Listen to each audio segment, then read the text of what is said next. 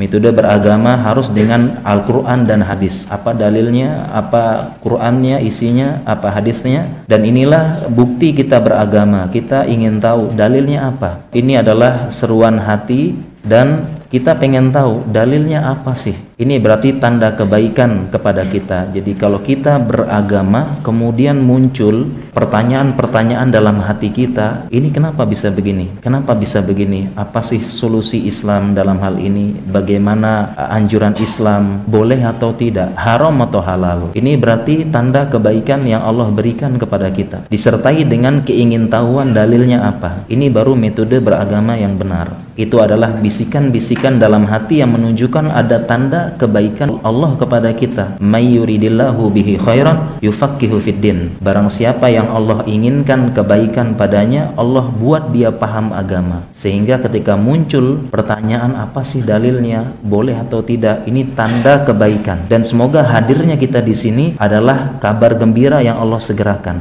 Tidak hanya sekedar terbesit dalam hati, tapi Allah berikan taufik datang, mau mempelajari akidah agama yang benar. Semoga kabar gembira dari Allah yang disegerakan silakan.